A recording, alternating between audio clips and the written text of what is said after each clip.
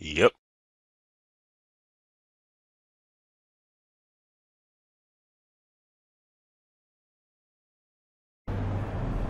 Okay, looking at Burrito Galaxy 65. Hi, And you are? my name is Julian. Julio. You can't see Julio, but Julio is a very tall guy. He's going to tell us all about the game. Please tell us about Burrito Galaxy 65. Okay, so this is a game that my friends and I made for the computer, and you can play it with a keyboard and mouse or with maybe a controller. And you play as Squawk, who is a fat blue bean girl, and you slap things and jump on them and slide around. That's quite the description. Yeah. Is guac short for guacamole? No, What's it short for? it's, it's not short for anything. That's It's just that's just her name. Squawk. Yeah. I could see how you would think that though. Well, in the level I saw earlier, there were uh, floating avocado halves Yeah. in the sky. I think if, if we can see one now, that we'll probably see one in this, this view here. Yeah. So, what was the actual story? How did she get to where get to where Well, she is you- now? You're a burrito delivery person, and you crash your, your uh, spaceship into a hotel. And in the future, uh, glass is very expensive because uh, of some saying. reason, I guess. And you, the window you break is about billions of dollars that you have to pay back in debt. Billions. Yeah. There's no, there's just no sand on this. this, this I guess not. I guess in the future, everybody would use a screen and a camera instead of a window That seemed like a lot of for, work, but okay. for science reasons. For science. Al- Although, uh, uh, even though it's so much money, you're poor, and you have to repay by doing chores.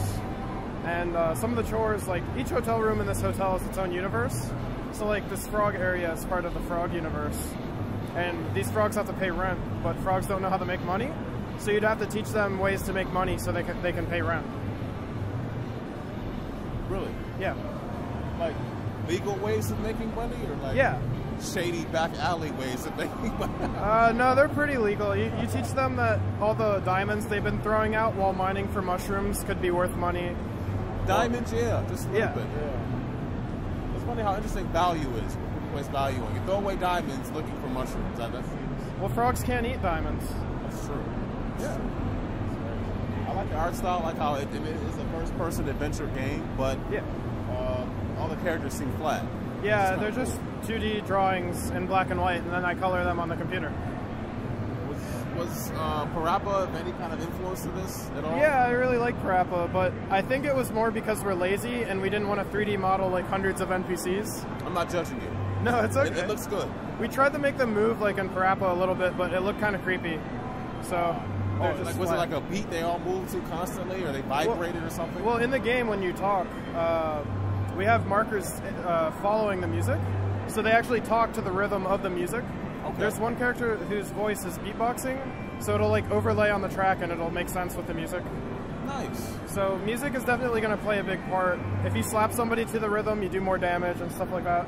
There is combat in the game. Uh, yeah, not in this build because it's not 100% perfect yet, but uh, soon we'll be showing that off more. But the focus is not combat; it's about the interactions with the other people and Yeah, it's other like creatures. It's, it's like exploring a big playground full of different people that meet and talk to and play with. And the sky full of avocado halves. Yeah, different different places will have different food. Uh, like I, I've been making a lot of food recently because you can make really low quality looking food in 3D, and there's like no uncanny valley for food. That's true. So it always looks kind of cool. It always look like avocado. Yeah. Do you like avocado? Of course. You like guacamole? Yeah.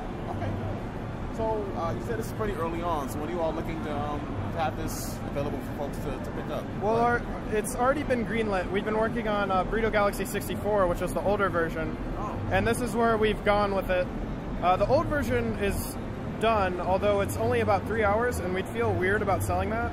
So what we're doing is we're going to put that version inside of this version and sell this one.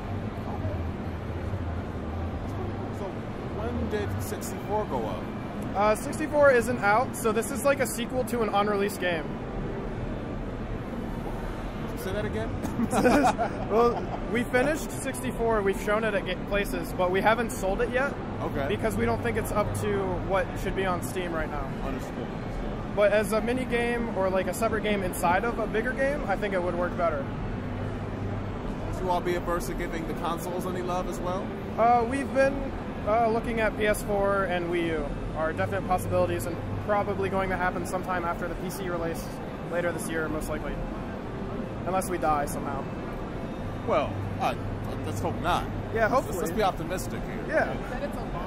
The game was like a lot of fun. It's very colorful. Um, Thank you.